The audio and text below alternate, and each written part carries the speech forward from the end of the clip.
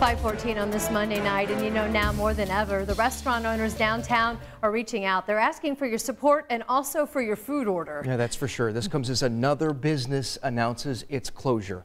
As Matt McCutcheon found out, it's forcing leaders to get pretty creative to keep their head above water.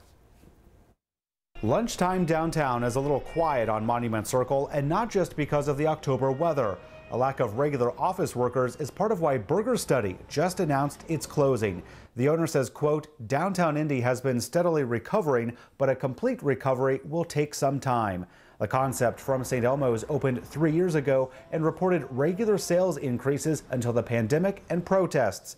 Elsewhere in the heart of the city, the Skyline Club is also feeling a pinch. With this building being only 7% occupied, we're working with uh, to-go business. With 93% of employees at the OneAmerica Tower at home, the club's revenue has dropped 70%.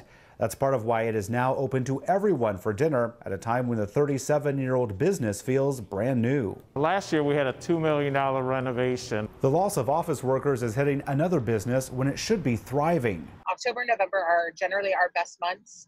Um, the weather starts to change, it gets chilly. This October, we are down 30 to 40 percent. So Soupremacy is now delivering frozen soups while also getting creative to help others. We call it Feed the Front Lines. So it's a $6 bowl of soup. Um, people can donate to, you know, 10 to a specific school or a specific fire station or a specific hospital. The loss of office workers means restaurants are relying even more on people to focus on getting back downtown as it continues to repair its image after the protests. It was scary. You know, when you're when you're looking through, everything's damaged, everything's wood, graffiti and everything. The circle was was beat up, but now it's kind of a resurgence. As for Burger Study, the restaurant here inside Circle Centre Mall will close for good at the end of business on Tuesday.